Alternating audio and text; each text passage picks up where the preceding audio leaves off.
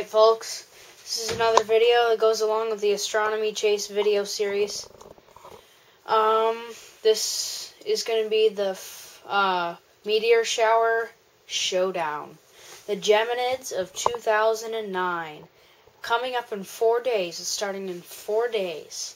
Starts December 7th, lasts till December 17th. Maximum ZHR 115 to 130.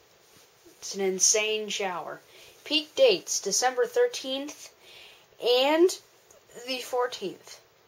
The best viewing area.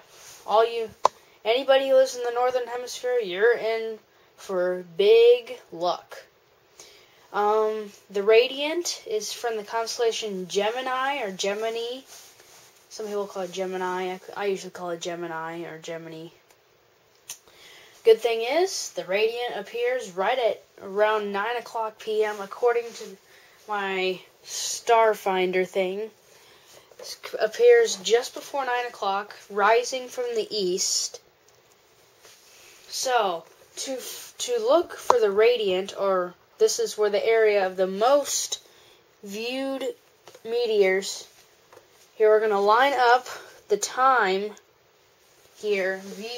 The time is around 9 p.m.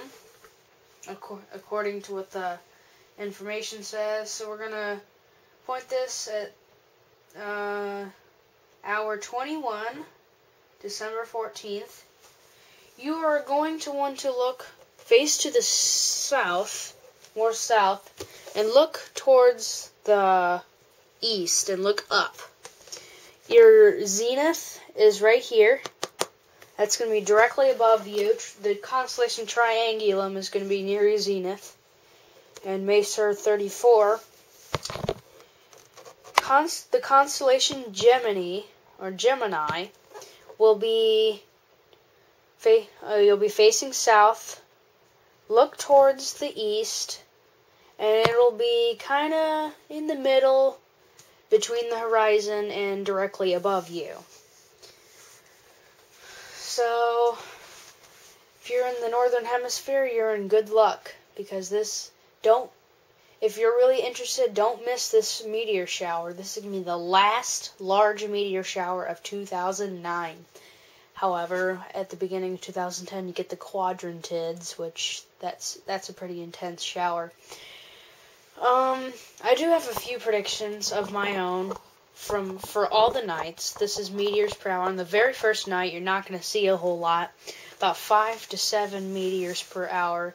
It'll slowly increase by the next night, 8 through 11, up then up to 10 through 13, 12 through 15, and by the night just before it'll be 20 to 26. Night 6, this is December 13th, 105 to 115. So you can, uh, the Geminids um, usually becomes visible at 9 o'clock p.m. on most days. And whenever it becomes, and whenever it sets, that's when the shower basically isn't viewable in the area. So at 9 p.m. most nights, that's when the Geminids begin. Every night, around 9 o'clock. So December 13th, uh, starting at 9 o'clock, at the peak time, so you'll see 105 to 115, and even larger on December 14th. 115 to 130. That is amazing, and that's really high. And then the night afterwards, it decreases rapidly down to 28 to 32, 14 to 18. Then the very last night is 7 to 10. Those are meteors per hour. So, the Geminids is a really big shower, and it seems to be increasing every year. So, maybe next year it'll be even larger. We'll just have to keep watching. The Geminids is actually a young shower compared to the other ones, it's actually a pretty new shower. Um, this trail of debris, I think, was laid down in the late 1800s. So it's a pretty new shower compared to the other older ones like the Leonids was started in uh, the 1300s, maybe 1400s. So, if you have any questions, feel free to leave a comment on this page. I could probably answer a lot of your questions. So, so the Geminids, four nights away from now. So December seventh is when it begins.